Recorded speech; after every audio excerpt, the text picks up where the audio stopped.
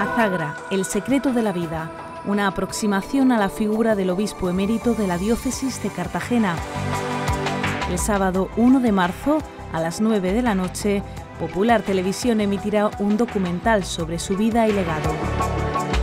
A través del testimonio de familiares y personas que le han tratado de cerca, descubriremos el secreto de un ser único, con un estilo original y alegre de vivir el Evangelio.